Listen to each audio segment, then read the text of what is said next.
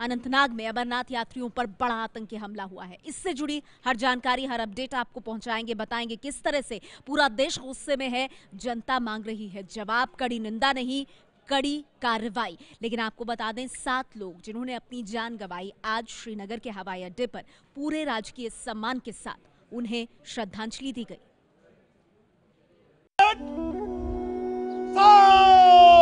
जम्मू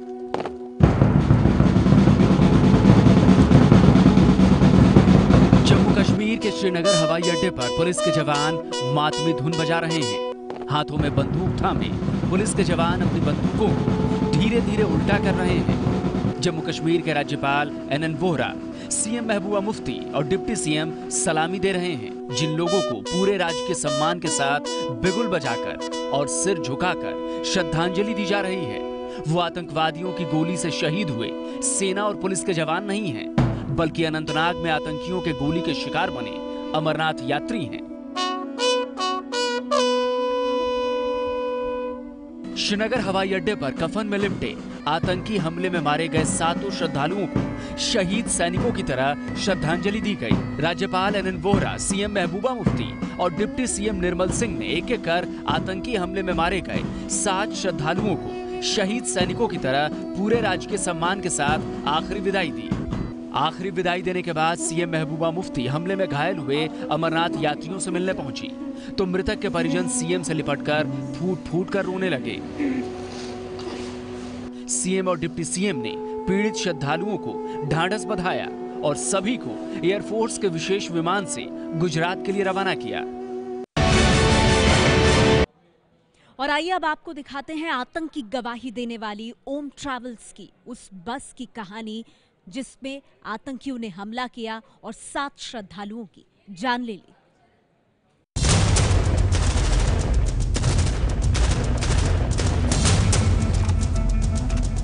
गुजरात के ओम ट्रेवल्स की वही बस है, जिसमें सवार अमरनाथ के यात्रियों पर आतंकवादियों ने हमला किया। एबीपी न्यूज़ को जानकारी मिली है कि आतंकवादी लगातार इस बस पर नज़र रखे हुए थे। अब आपको बताते हैं कि कैसे आतंकवादियों ने इस हमले को अंजाम दिया। इस बस के दाहिने तरफ़ से आपको बताते हैं। देखिए ये इस बस की बॉडी है। इसके ऊपर शीशे लगे हैं। पहला शीशा ड्राइवर सीट पर लगा है। इसके बाद एक दो तीन चार पाँच शीशे लगे हैं। इसमें करीब छप्पन तीर्थयात्री बैठे थे। शीशे के सहारे बैठे तीर्थयात्रियों को सीधे गोली लगी। लोग मारने लगे गोली। हम लोग का आँख बंद हो गया। इतना फटाफट फ्रंट से लेके साइड से लेके टोटल फायरिंग फायरिंग जो सब कांच शीशा सब टूट गया। तो हम तो सब नीचे सीट के नीचे बैठ गए। बताया जा रहा है कि इस बस का एक टायर पंचर हो गया था। इसी दौरान बस पर रात करीब आठ बजकर बीस मिनट पर आतंकवादियों ने ताबड़तोड़ गोलियाँ बरसा दी। एबीपी न्यूज़ ग्राउंड ज़ीरो पर मौजूद है। ठीक उसी जगह पर जहाँ पर यह हमला हुआ था, जो आप कांच के टुकड़े सड़क पर देख रहे हैं। यहीं पर हमला हुआ और जो ये गली आप देख रहे हैं, बताया जा रहा है कि इसी गली से जो थे हमलावर आए थे और उन्होंने अंधाधुंध फायरिंग बस के ऊपर की। ये गोलियों के निशान, ये देखिए आप।